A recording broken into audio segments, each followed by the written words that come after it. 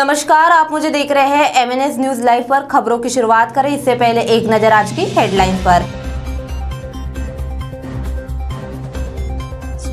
नरखेड़ 30, काटोल और कलमेश्वर 19, रामटेक 6, उमरेड तहसील में चार संक्रमित। लेआउट डालकर करोड़ों की धोखाधड़ी। कई दिनों से पड़ा है कचरों का ढेर। आइए देखते हैं खबरें अब विस्तार में। नरखेड़ 30, काटोल और कलमेश्वर 19, रामटेक 6, उमरेड तहसील में चार संक्रमित। नरखेड़ तहसील के ग्रामीण अचल में दिनों दिन बढ़ते कोविड 19 संक्रमण के आंकड़ों ने चिंता बढ़ा दी है। शुक्रवार को तहसील में कुल 30 लोग पॉजिटिव आए। इनमें छह नरखेड़ शहर के हैं। ग्रामीण अचल में मेंडला पीएससी अंतर्गत साकरखेड़ा में आठ सिंजर में सात, जलालखेड़ा में तीन, भारसिंगी में एक तथा मोवाड़ क्षेत्र में पाँच लोग संक्रमित मिले।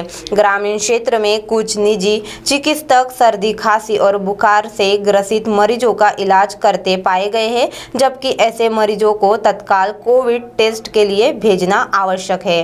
टीएचओ विद्यानंद गायकवाड़ ने निजी चिकित्सकों से संदिग्ध मरीजों को कोविड जाँच केंद्र भेजने की अपील की है। तो वही दूसरी ओर लेआउट डालकर करोड़ों की धोखाधड़ी। फर्जी दस्तावेज़ की मदद से हासिल की गई ज़मीन पर लेआउट डालकर प्रॉपर्टी डीलर दंपति और उनके दो साथियों द्वारा धोखाधड़ी किए जाने का मामला सामने आया है। वाटोड़ा पुलिस ने मामला दर्ज कर जाँच आरंभ की है।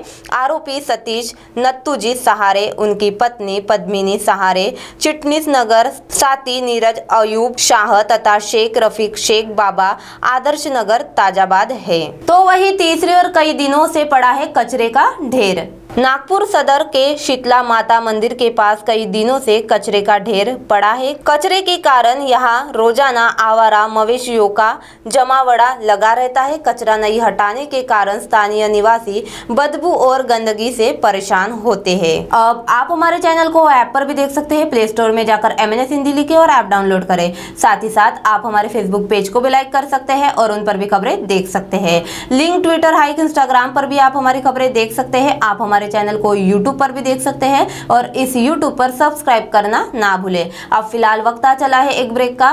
ब्रेक से लौटने के बाद देखते हैं देश और दुनिया की तमाम कुछ खास खबर। धन्यवाद।